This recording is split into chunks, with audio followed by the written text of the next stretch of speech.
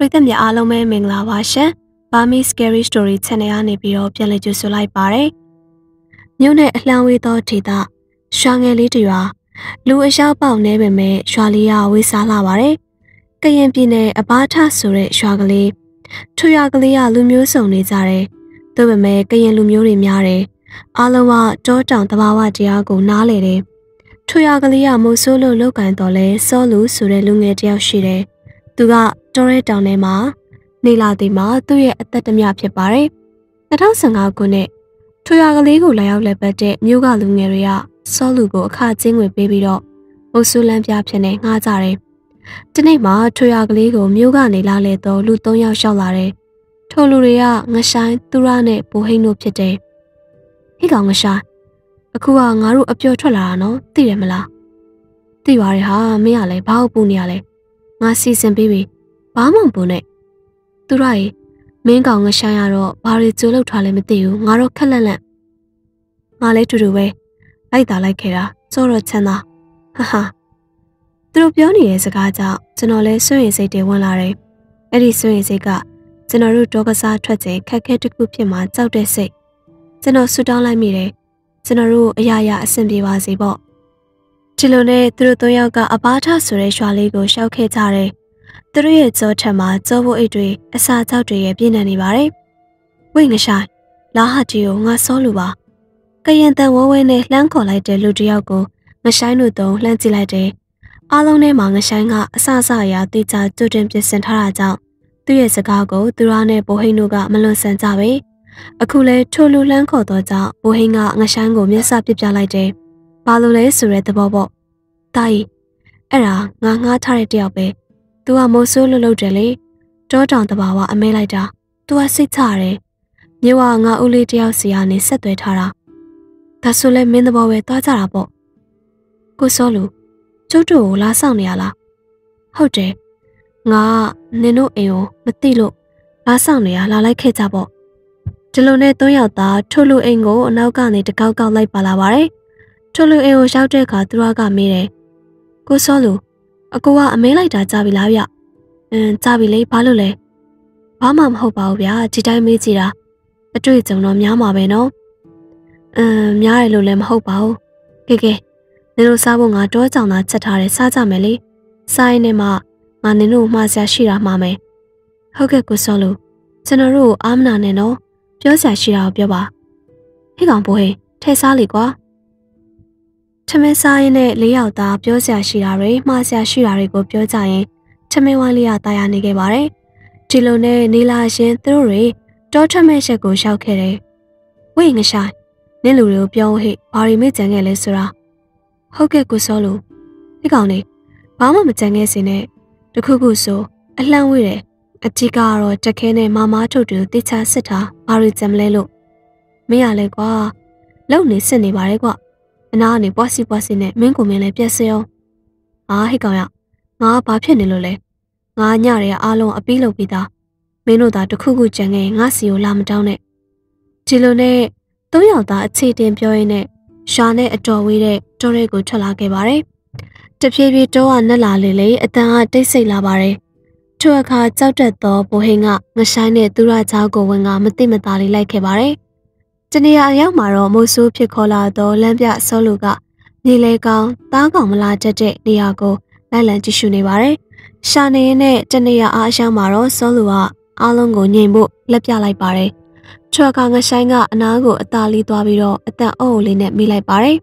။ကိုဆောလူဘာတွေ့လို့လဲဗျ။မဆိုင်မင်းတွေ့တာအရှိမဟမ်အဲ့ဒါဘာလဲဗျကိုဆောလူဟာနင်တို့တွေကဘသူပြစ်ချင်ကြလဲ။ ဟေ့ကောင်နေလာခဲ့တူတူလေးလားဂျန်နဲ့အဲ့ဒီကောင်ကဘာလဲဗျအမ်အဲ့ဒါကိုကြောင်မြင်းလို့ခေါ်တယ်။ तू ကကြောင်နဲ့နီးပါးဆွဲနေဒါကြောင့်မလို့နင်တို့ကိုပြစ်ခိုင်းတာကဲငဆိုင်ဒီခရီးကိုမင်းစတာဆိုတော့မင်းရင်ပြစ်ကွာတယောက်တစ်ခါပေါ့ထို့သူပြောရင်းနဲ့လက်တန်းအလုံးလောက်လေးရှိတဲ့တစ်ကိုင်းမှာအိတ်နေတဲ့ကြောင်မြင်းကို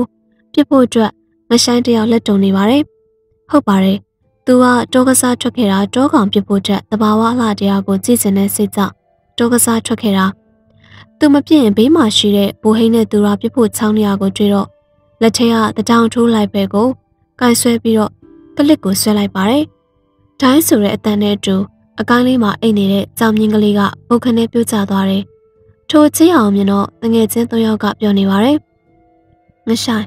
မင်းကလက်ဖြောင်သားပဲကွာ။ခေါင်းကိုတန်းနေတာပဲ။ဟုတ်တယ်ငဆိုင်။ငါဆိုကိုလုံးကိုထိမယ်ထင်တာမင်းပြစ်ချက်ကတော့ချက်ကောင်းမဲ့ဟဲ့။ အေးကွာငါအဖေရှိတော့အဖေတငယ်ချင်းတွေစီသွားလဲငါလေးချစ်နေကြဒါကြောင့်တန်းတာမင်းကနော်ပညာတွေကိုရှို့ထားတယ်ပြောပြောဆူဆူနဲ့ကြောင်မြင်းကျသွားသည့်နေရာကိုသုံးယောက်သားသွားခဲ့ပါတယ်ထိုနေရာကိုရောက်ခိုင်မြင်ရတဲ့မြင်ကွင်းကြောင့်သုံးယောက်သားကြောင်အန်းဖြစ်သွားတယ်မှန်ပါတယ်ပြစ်တော့ကခေါင်းကိုထိပြီးတော့ဖြုတ်ခဲ့ကြသည်မဟုတ်လားအခုလာကြည့်ချိန်မှာတော့သွေးဆက်တောင်မှမရှိတော့အံ့ဩမှန်တန်နေတယ်တောင်းကြတော့ငဆိုင်တယောက်အစ်စ်ဝင်ပြီးကျန်တဲ့ယောက်ကိုပြောက လမ်းပြမို့ဆိုးစီကိုပြန်လာခဲ့တယ်။ဟာငဆိုင်နင်းပြလိုက်တဲ့သားကောင်ရောဘယ်ရောက်သွားလဲ။မပါလာပါလား။ဟုတ်တယ်ကိုစောလူသွေးစားတော့မရှိဘူးဗျ။သားကောင်ဆိုပို့ပြီးတော့ဝေး။ဟာဘလို့ဖြစ်တာလဲ။ထိုအချိန်မှာပဲမိုးအုပ်လာကလေပြင်းနေကြောက်လာပါတယ်။ထိုကြောင့်လေးယောက်သားစိတ်တွေရရခက်ကုန်တယ်။ကိုစောလူ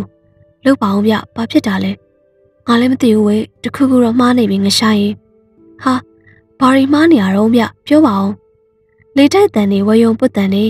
တကူရိုက်ခတ်တန်နေတယောက်နဲ့တယောက်အော်ဟစ်ပြောနေကြကအမြင်တွေဝေဝါးနေပါတယ်ထိုဖြစ်စဉ်တွေဖြစ်ပြီးတော့ခဏကြာမှလေပြင်းကရုတ်ချင်းဆိုသလိုပျောက်ကွယ်ပြီးတော့မိုးသားမိုးတိမ်တွေကငကိုအတိုင်းပြန်လဲထွက်ပေါ်လာတယ်ထိုတန်တွေတိတ်ဆိတ်သွားတော့မျက်လုံးတွေကိုအသာပြန်ဖွင့်ကြည့်ကတယောက်နဲ့တယောက်မရှုံနိုင်သောမျက်လုံးတွေနဲ့ကြည့်နေတယ်သူသူရကြည့်ကြည့်ပါဦးငါတို့ဘယ်ရောက်နေရလဲအေးဟာဘိုးဟိန်း ငါလည်းမသိဘူးမရှားရောဘမလဲရှားကြည့်ပါအောင်မရှားမရှားရင်မင်းဘမလဲနှစ်ယောက်သားငဆိုင်နဲ့ကိုစောလူတို့ကိုအော်ခေါ်ပြီးတော့ရှာဖွေနေပါတယ်တအောက်နေတော့စကားပြောပြောနဲ့အတန်နေကြားရတယ်ထိုနေရာစီကိုသူတို့နှစ်ဦးသွားဖို့ခြေလမ်းပြင်လိုက်တော့နောက်ကနေခေါ်တန်ကြတော့ပြန်လှည့်ကြည့်လိုက်တယ်သူရသူရငါဒီမှာဟာဟာငရှာကိုစောလူဘယ်လိုရောက်ကုန်တာလဲကျွန်တော်တို့ရှာနေတာအေးကွာငါတို့လည်းအတန်တိတ်ဆိတ်ကုန်တော့ နှလုံးဖွင့်ကြည့်တာတနေရာကိုရောက်နေတာငါတို့လည်းမင်းတို့ကိုလိုက်ရှာနေတာကွငဆိုင်အရှိမအတန်နေကြရတယ်ရွာရှိမှထင်တယ်ဟေးဟေးရှမ်းမသွားနဲ့အောင်အချိန်နေကြည့်ပြီးမှသွားကြတော့ကြဘာတွေဖြစ်မလဲမသိဘူးဟုတ်ကဲ့ကိုစောလို့သူတို့လေးယောက်လည်းအတန်လာရာကိုနားဆွင့်ပြီးဖြင်းချင်းစွာသွားနေပါတယ်ဟမ်ဘာမှလည်းမရှိပါလားဒါကဘလို့ဖြစ်တာလဲကိုစောလို့အေးဒါကိုစက်တွေလို့ခေါ်ရဲကွတနေ့အဖြစ် လူနဲ့အနီးဆုံးပိတ်တာပုံပေါ့ပြန်ကြမယ်ကွာအချင်းနေမကောင်းထို့သူပြောရင်းနဲ့အိမ်ပြန်လန်းကိုစတင်လိုက်ပါတယ်တဖြည်းဖြည်းညနေလာလဲစိတ်တရားလဲခြောက်ချလာတယ်အနောက်ကနေတစုံတယောက်သို့မဟုတ်တစုံတရာကသူတို့ကိုစက်ကြည့်နေတယ်လို့ထင်နေတယ်ဆောလူဆောလူရေဟဲကိုဆောလူဘသူခေါ်ရလဲဗျဟာသွားပြီခုကစပြီးတော့တယောက်ယောက်ကနာမည်ခေါ်ရင်ဘသူမှမထူနဲ့ကြလားနင်တို့ထွင်နုသေးကြမှာ ငဆိုင်ငါ့ကိုကဲပါကွာငါပိုဟိမ့်ပါထိုစကားတန်ကိုကြားတော့လေးယောက်သားဆုလိုက်တယ်ကြောချင်းကပ်ပြီးတော့တယောက်နဲ့တယောက်ပါလာတဲ့လက်နှိပ်ဓမီတွေကိုထိုးတနက်တွေကိုမောင်းတင်လိုက်တယ်ကိုစောသူဒါကဘာလဲဗျတယောက်ယောက်ကခေါ်နေတာဒါတော့တမျိုးပဲဘိုဟိန်းကဒီမှာရှိပြီးသားဟိုမှာကလည်း तू ကဘိုဟိန်းနဲ့အေးဒါသစီခေါ်တန်းလို့ခေါ်တယ်ငါငငယ်ကတခါကြုံမှုတယ်နင်တို့တွေဘာမှမကြောက်နဲ့တရဏဂုံကိုရွတ်ဖက်နေ ဒီလိုနဲ့တညာလုံးခေါ်တန်းနေအဆက်မပြတ်ကြားနေတယ်တရေးမှမအိပ်ရပဲမနက်လေးချက်တီတော့ခေါ်တန်းနေတဖြည်းဖြည်းကျဲလာတယ်ဒီလိုနဲ့နေအောင်ထွက်တော့အတန်နေပြောက်သွားတယ်ကဲငရှာဒီညနေဒီကမထွက်နိုင်ဒီလိုပဲခေါ်တန်းကြားနေရမှာပဲဒီတော့ကိုစောလူဘလို့လုံးမှာလဲဗျကျွန်တော်တို့ဘာကူညီရမလဲဟုတ်တယ်ကိုစောလူပြောပါအေးအေးအခုကတောင်ပေါ်လားတိုရဲလားမသိရဘူးဆိုတော့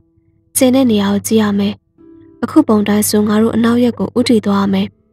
ဟုတ်ကိုစောလူကိုစောလူပြောတဲ့အစီအစဉ်တိုင်းအားလုံးကသဘောတူတယ်ဒီလိုနဲ့ပဲရှောက်လန်းလာရတဲ့တဖြည်းဖြည်းနဲ့အချိန်ကုန်လာခဲ့တယ်ဒါကြောင့်ငဆိုင်တဲ့သူရကဖုန်ကြီးចောင်းသားဖြစ်ခဲ့ပြီးတော့ဂုံတော်ကိုပါကိုထန်ကတိုင်းကြကြနဲ့ရွတ်ဖတ်လာခဲ့ပါတယ်ထိုစင်နေလုံးကြီးကတောင်ပေါ်ကိုမှေးတင်နေပါတယ်အမောင်တူကြီးကတဖြည်းဖြည်းကြီးဆိုးလာခဲ့ပြန်ပါတယ်သူရသူရရေသူရစောလူလာခဲ့ပါ ဒီဘက်ရွာမှာရှိတယ်လာခဲ့ငဆိုင်ငါ့ကိုကဲပါအောင်ကွာအတန်မျိုးမျိုးဖြစ်ခေါ်လာခဲ့ပါတယ်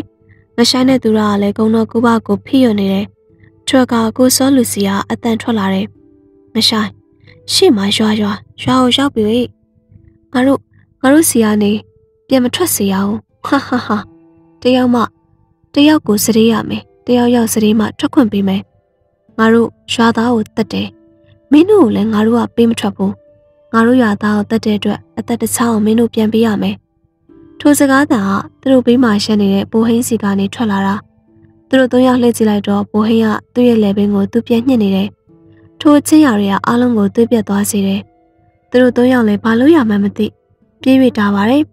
သူတို့ချုပ်လိုက်ဘိုဟင်းကရှုံးလိုက်နဲ့ခြေကုံလက်ပန်းကျလာတယ်ထိုအချိန်မှာပဲသင်္ကန်းကိုတည်သက်စွာခြုံလာသောဖုန်ကြီးတစ်ပါးရောက်လာပါတယ်တခါကြီးဖိုးရွှေလာ အသင်ရဲ့ဒေါသကိုထိမ့်မှာအကုသူတွေမပွားပါနဲ့တကားထိုစကားကိုကြားတော့ဘိုဟင်းကဝင်ပူးတဲ့စစ်တစီကြီးလဲလက်အုပ်လေးကြီးကပြန်ပြောပါတယ်မှန်လားပါရှင်ဖေ။တပည့်တော်စင်ကြင်မမယ်ဖေ။တာရုတာရုတာရုတာရုခေါ်ပြီးတာနဲ့တပြိုင်နက်တည်းမှာပဲဘိုဟင်းတယောက်အယုတ်ကျူးပြက်လဲကျသွားပါတယ်။ဘိုဟင်းကပွေ့ထူပြီးတော့လှုပ်နှိုးတဲ့ဘယ်နေရာကိုရှောင်မမသိတဲ့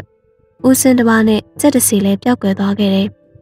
ထိုအချိန်မှာဘိုဟင်းလဲတတိလာလာပြီးတော့လေးယောက်သားရွာကိုပြန်ခဲ့ကြတယ်။ဒီလိုနဲ့ငဆိုင်တို့မြို့ကိုပြန်မဲညရောက်ခဲ့ပါတယ်။စုစုပေါင်းလူ6ယောက်မီးလုံနေတယ်။ညအချိန်၈ချက်တီကြော်ကြော်လောက်မီးလုံရင်စကားပြောနေကြချိန်ဘယ်ကမှမသိတဲ့အသက်နဲ့ကြီးကထွက်ပေါ်လာပါတယ်။ဝေးငဆိုင်ငဆိုင်ရေသူရလည်းရှိတယ်မလားငါပိုဟိမ့်ပါကိုစောလူထိုအခါပိုဟိမ့်ဘက်ကိုလက်ကြည့်ကအားလုံးလဲထိလန့်စွာနဲ့အိမ်မော်ကို ပြေးတက်သွားကြပါတယ်။လာခဲ့ပါငါရွာကိုဟုတ်ကဲ့ပါရှင်ပရိသတ်တွေအတွက်ဒီကနေ့တက်ဆက်ပေးကြရတဲ့ဇလန်းလေးကတော့ဒီနေရာမှာရမယ်ပြီးဆုံးသွားပါပြီရှင်။မေဆိုဘာလုပ်နေလဲထမင်းစားအောင်လေအိမ်တကားဘက်မျောကြည့်နေတဲ့အမေကြီးကိုဦးတာအိုးကလှမ်းမိလိုက်တယ်အချိန်မဲလင်းတော်မြည်ဒီမဲကြီးအခုချိနေရနေမရွှေ့သူမေးတန်ကြောင့်ခေါင်းလင်းခဲ့ပြီးတော့မှုန်တီနေသောမျက်လုံးနဲ့မော့ကြည့်လာတယ် တော့ကိုတာအိုးတော့သားနဲ့သမီးကပြန်မလာသေးလို့ပါမငွေတို့စီမနေ့ကသူ့သမီးတွေလာကြောကြတယ်ဆိုပဲမင်းကွာခလေးတွေပြေးလဲမှမသိမပြေးလဲမှမသိမျောကိုမနေပါနဲ့တော့နဲ့ပြောရပါအေး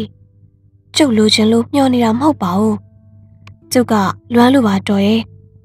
တမျက်နှစ်ကလည်းမလာကြဘူးလေတနက်နေလို့တခါမတွေ့ရတာကျုပ်တတိယနေတာလွန်သလားတော် မဲဆုံစကားကြောင့်ဥတာအိုကတက်မချလိုက်ပါတယ်အမေကြီးပြောတာကလည်းမမားပေပဲသူတို့ကတနစ်တခါအခါကြီးရဲ့ကြီးပိတ်ရလေးများရှောက်လင်းမျှော်မရတာအမော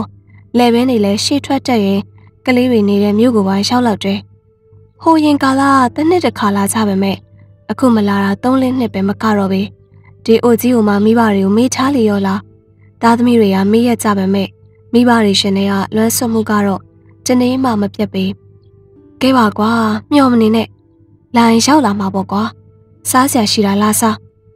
အချိန်လွန်ရင်လေလေအောက်နေမှာခံနေရမယ်ဒေါ်မဲဆုံတရားနေမထဆင်ထကျင်ထပြီးတော့ထမင်းပွဲမှာဝင်ထိုင်ပြီးမငွေသမီးကလေအမေကြီးဖို့ဆိုပြီးသူ့မေးချက်တဲ့တိုင်းနဲ့လာကြတော့တာမငွေတို့များကြွားမဆုံးတော့မင်းကွာမမျောဘူးဆိုလူချင်မဟုတ်ဖိုးကြီးရဲ့ဒါပေသည့်ကျုပ်လည်းကြွားချင်တာပေါ့တော့ အင်းဒါရီကအထီးကမဟုတ်ပါဘူးကျုပ်ကလေးတွေတွေ့ချင်တာကတော့အထီးကပါရဲ့ဦးတာအိုကခေါင်းလေးခါကထမင်းပကံငယ်ထမင်းထည့်ပေးပြီးတော့ကဲစားပါကွာပြောလို့ပြောတာမဟုတ်ဘူးငါလည်းလွမ်းလာတာဟာလင်မယားနှစ်ယောက်ထမင်းကိုစီစားနေကြပါမဲ့စိတ်တွေကသားသမီးတွေစီမှာရောက်နေပါတယ်နင်းပြဘဝတွေမှာမိသားစုတွေကွဲကွာနေကြလဲတနေ့တစ်ခါတွေ့ဆုံနိုင်ဖို့တော့အဆင်မပြေတဲ့ဘဝ အရွယ်ရောက်အကြောင်လက်ဆုံတော့ကိုစီအိမ်အောင်ကြကမိဘရှင်ဝင်ကနေခွဲထွက်သွားကြတယ်ဘဝရှည်စံကိုကိုစီကူးခတ်ကြရင်ရအရှင်ကတော့မိဘတွေစီလာလာကြသေးတယ်သူတို့လည်းသူတို့ဘဝနဲ့သူတို့ရုန်းကန်ကြတော့ဂျေဖေဂျီမီကိုလည်းပြန်ပြီးတော့မကြည့်နိုင်တာပါအခုများတော့ပြန်ကြည့်ဖို့နေတာတာတနစ်တစ်ခါတောင်လာဖို့ကမသေးကြ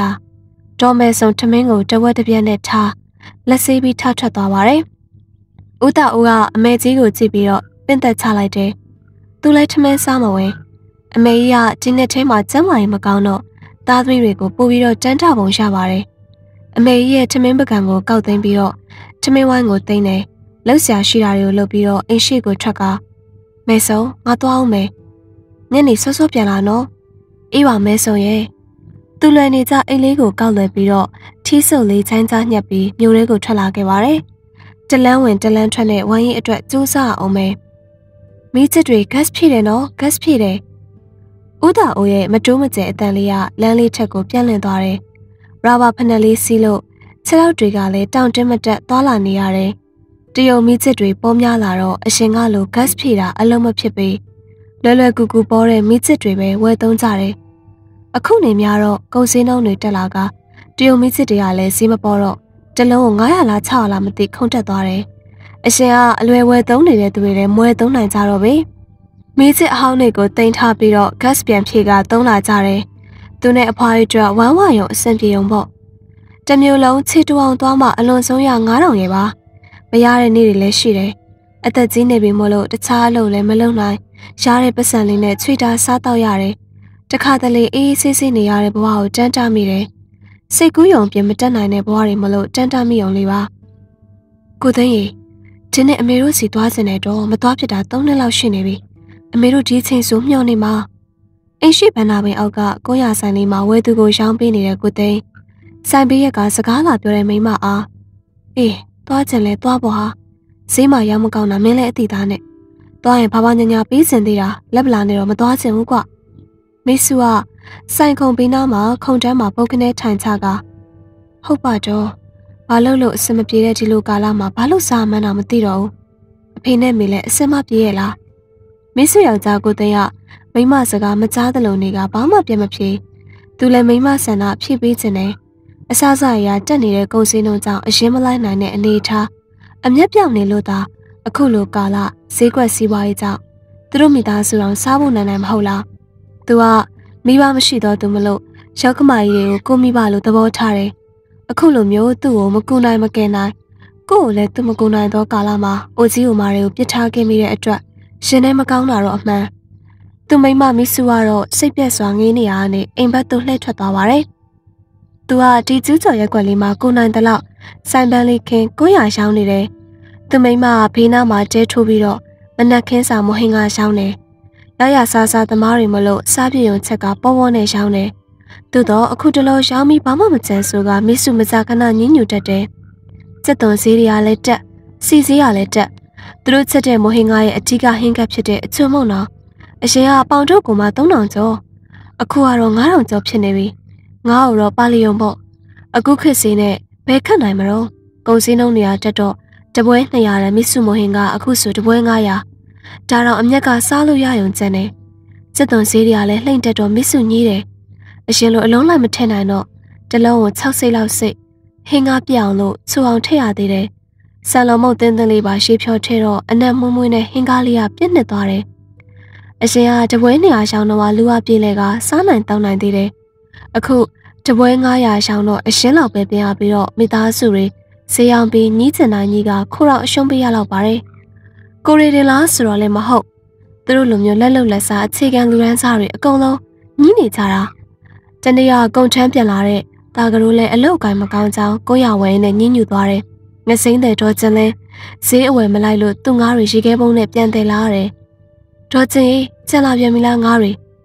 အေးဟေးလူတွေလည်းအစားတောင်စားကြသေးလားပဲငါလည်းအရှင်းပြုတ်တော့မယ်ဒီပုံနဲ့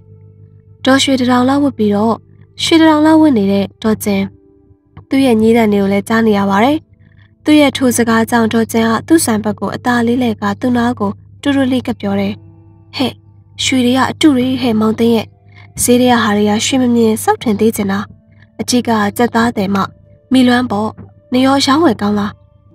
ခေတ်ချီနေရထုံးစံတိုင်းပေါ့ထော်ကျင်ရဒေါ်ကျင်အမေကိုကောင်းခါကသူ့ပြန်ဖြေတယ်ဒေါ်ကျင်ပြောသွားတာလေးကိုသဘောကျပြီးတော့ကိုသိန်းပြုံးမိတယ်သူတို့ချင်းဂုံတူးဂုံပြိုင်နေရဈေးထဲမှာရှိကြတာ哦လူသဘောလူမနှောတွေပေါ့ ထို့ချိန်သူမိမကသမီးကစားဖို့ဝယ်ထားတဲ့မင်းသမီးရုပ်စုဘူးကိုယူချလာတယ်ထို့နောက်သူနာလာကိုသိအေးပြောကျုပ်တို့ရှိရှိမရှိရှိတရက်တစ်ထောင်လောက်ဒီယုံလေးရဲ့စုအောင်အယုံလေးပစံပြင်းအဖေနဲ့မေစီသွားကြမယ်ဘယ်နည်းဖြစ်ဖြစ်တော့မိသိန်းကကိုသိန်းကမိစုကိုကြည့်ကအေးတနေ့တစ်ထောင်ပဲဟာဒီတိုင်းနေလဲကုံကုံသွားတာပဲစုကြတာပေါ့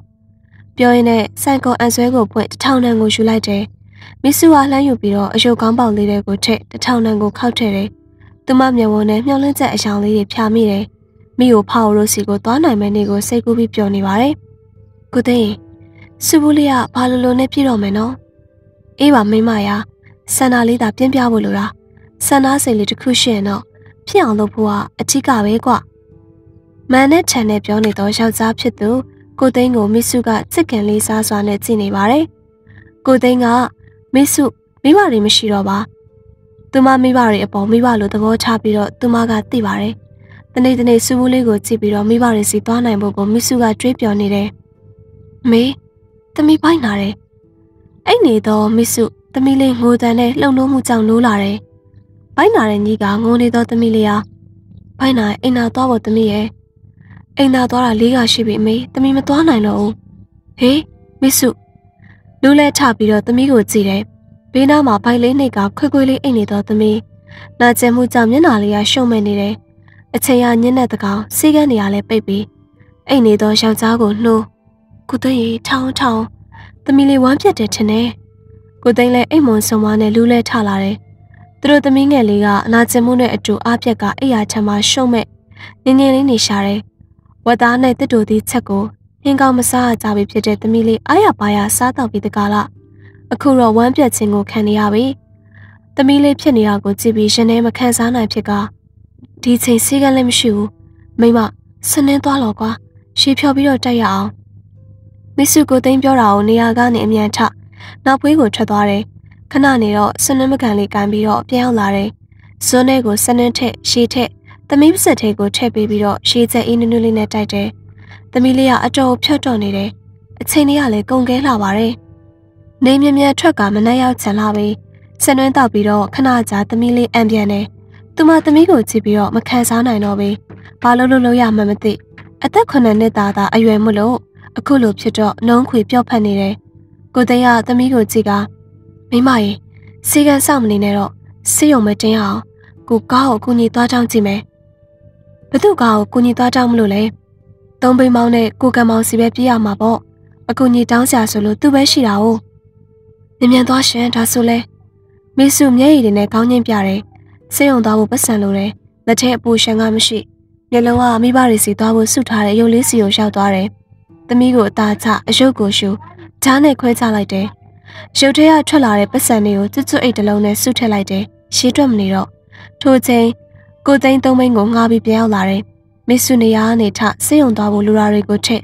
ပစ္စည်းစုံတော့လင်မယားနှစ်ယောက်သမီးကိုပွင့်သုံးပိန်းနဲ့စေးုံရှိရာကိုလာခဲ့တယ်။စေးုံရောက်တာနဲ့ဆရာဝန်တွေကဖြစ်စဉ်ကိုမေးပြီးတော့ကုသမှုအမြန်လုပ်တယ်။တက်စားတွေချိတ်ဆေးတွေသွင်းနဲ့အလုပ်ရှုံနေတယ်။မစ်ဆုမျက်လုံးကိုမှိတ်မှိန်ပြီးတော့ပျော့ခွင်နေတဲ့သမီးကိုကြည့်က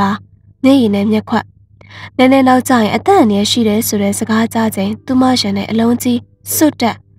ကံကောင်းလို့ပါလားဆုံးဖြတ်ချက်မှန်သွားလို့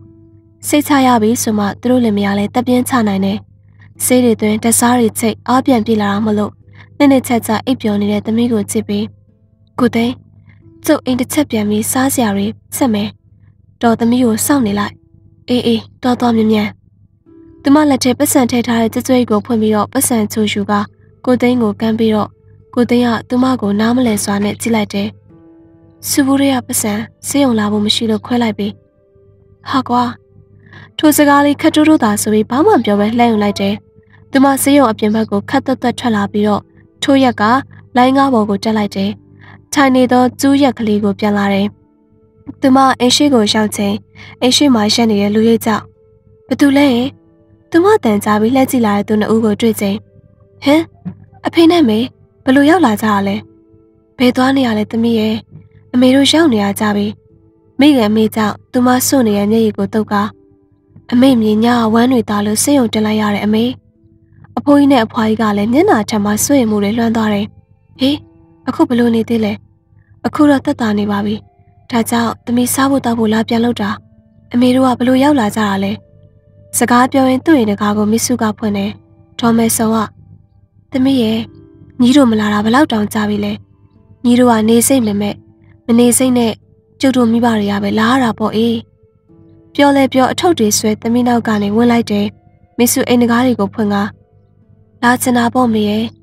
လာချင်လုံးလို့လေလုံဘူးနဲ့အောင်မှပတ်စံစုခဲ့တာအခုစုထားတဲ့ပတ်စံတွေလည်းစေယုံစေးဖြစ်ကုန်ပြီအမေတို့ကိုလည်းတတိရတာပေါ့လမ်းစီတောင်မရှိဘူးလားဟဲ့လလမ်းစိတ်ရမဟုတ်ဘူးအမေတို့ကိုကြော့ချင်တာလဲပါတာပေါ့အခုတော့အကုန်စေးုံစေးဖြစ်ကုန်ပြီအမေတို့ရောက်လာလို့သာတွေ့ခွင့်ရတာပြောရင်လည်းမိစုမျက်ရည်ဝဲကဒေါ်မဲဆုံရှင်ခွင်နဲ့ခေါင်းတူးဝင်ပါတယ် ဒေါ်မဲဆုံသမီးကိုသိမ့်ဖက်ပြီးတော့မျက်ရည်စားရင်းနဲ့လက်တထောင်စစ်ကအင်ကြီးစားနဲ့တုတ်တယ်ဦးတာကိုလည်းမိမနဲ့သမီးကိုမျက်ရည်ဝဲစွာကြည့်နေတယ်အခုရောအမေမြေဘလို့နေသေးလဲတက်တာရဲ့လားတက်တာပါပြီဆေးရုံကတော့ဘယ်ချိန်မှဆင်းရမလဲမသိဘူးဒေါ်မဲဆုံသူမအင်ကြီးတွေကိုလှန်တင်ကချွေးကန်အိတ်ကိုနှိုက်တယ်စစ်နေအောင်လိတ်ထားတဲ့သူမပတ်စံတွေကိုဖြီကရှည်တွက်နေတယ်ထို့ထဲကတချို့တဝက်ကိုတမင်းဖြစ်သူကိုကမ်းပေးပြီးတော့ရော့ရော့ ငါမြေးအတွက်သုံးလိုက်ကျန်တာငါတို့လမ်းစီမိခင်စီကပတ်စံကိုတုံရင်နေသောလက်နဲ့လှမ်းယူလိုက်မိတယ်ရှင်တိုင်းမှာလည်းဝမ်းနေမှုကလှိုက်တက်လာတယ်မိဘကိုပေးချင်တဲ့စိတ်တနေ့နဲ့နဲ့ကြိုးစားစုတယ်သားသမီးအရှိကြုံလာတော့မိဘနောက်ရောက်သွားတယ်သားသမီးအတွက်သာဦးစားပေးမိတော့တယ်မိဘအတွက်တွေးပေမဲ့မိဘကိုဦးစားမပေးနိုင်ပဲနောက်ဆုံးတော့ကိုသားသမီးအတွက်သာတွေးမိရတယ်ရေစုံနဲ့ရေစံရှင်ပြိုင်ပိုးလူပွဲမှာရေစုံသာအနိုင်ရရှိခဲ့တယ် မိစုမိဘနှစ်ပါးကိုမျက်ရည်တွေအပြင်းနဲ့လှမ်းကြည့်နေချိန်သားသမီးအတွက်ဖြည့်ဆည်းပေးရလို့ကျဉ်နဲ့နေတဲ့အဖေနဲ့အမေပြုံးကရှင်နဲ့တန်မိုးနှစ်တလုံးဆွဲထန်နေပါတော့တယ်ဟုတ်ကဲ့ပါရှင်ပရိသတ်တွေအတွက်ဒီကနေ့တက်ဆက်ပေးခဲ့ရတဲ့ဇလန်လေးကတော့ဒီနေရာမှာရမယ်ပြီးဆုံးသွားပါပြီရှင်နောက်ထပ်လည်းတက်ဆက်ပေးဖို့ဇလန်ကောင်းလေးတွေချက်ရှိသေးရကြမလို့ကျမတို့ရဲ့ channel လေးကို subscribe ပြုလုပ်ပြီးတော့စောင့်မျှော်ကြည့်ရှုအားပေးနားဆင်လို့ရပါပြီရှင်လက်ဆက်အားပေးကြတဲ့ ပရိသတ်များအားလုံးကိုလည်းကျေးဇူးထူးပဲတင်ရှိပါရယ်ပရိသတ်များအားလုံးလည်းကိုယ်စိတ်နှပြရှင်လန်းချမ်းမြေ့ကြပါစေရှင်